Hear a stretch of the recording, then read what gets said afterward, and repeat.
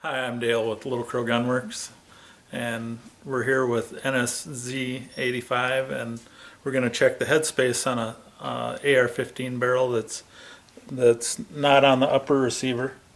I kind of like doing it this way because you're you're not working around the upper, and you can just take your bolt head, and then I use a um, a large punch, so I got some leverage to to twist with. You will need a, a go gauge and a no go gauge, and uh, the nice thing is it's it's much quicker than checking the headspace on a, an assembled upper. Right here we have our go gauge.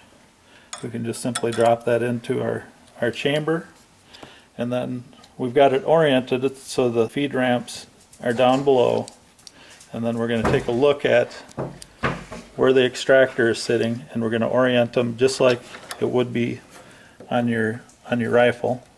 And you can push forward and we're giving it a um, about a 15 degree turn and it slid right around.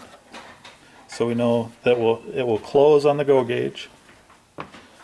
And then we're going to take our no-go gauge drop it in the chamber make sure we're oriented right again overcome the resistance of the extractor and the ejector and then give it a twist and it's not going to turn. So we can just twist her back a little bit and then you're good to go. You know the headspace on this barrel setup with this bolt is good to go. Thanks for watching